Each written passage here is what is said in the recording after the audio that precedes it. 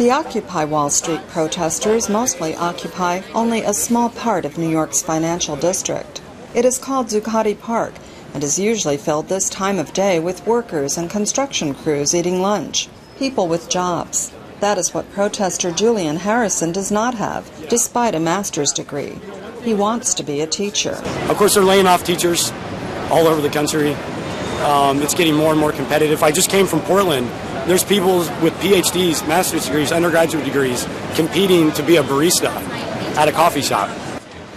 So for now, Harrison is a full time protester, camped out with other demonstrators, making themselves at home as best they can. New Yorkers and tourists have varied reactions to the ragtag incursion.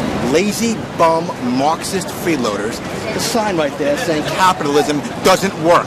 Oh, yeah, it doesn't work. Capitalism built this city up. Well, I think it's very true. It's the same all over the world. Same in Ireland. And what is that? Greedy people. I think they should go home and stop wasting time. Because there's no point in this. Celebrities. Here's hip hop mogul Russell Simmons stop by occasionally to offer their support. I'm here. I'm here in solidarity. I'm here in solidarity to all the people. To all the people who are protesting the money grab. Who are protesting the money grab. And the fierce warfare, class warfare that's been waged on the poor and the underserved. The protesters use what they call a human mic.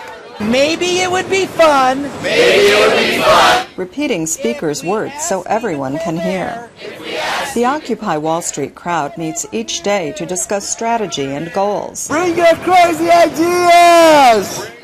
Community organizer Naif Little sums up their basic agenda. We need to stop these huge corporations, uh, particularly the big banks on Wall Street, from controlling our, our members of Congress, from controlling folks who represent us in Washington.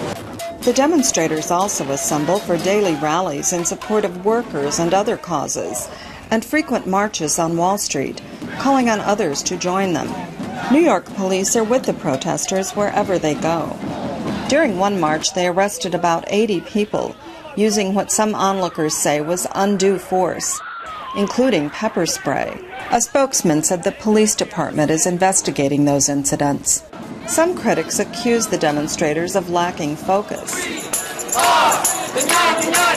They respond that their protest is an exercise in direct democracy. Carolyn Weaver, VOA News, New York.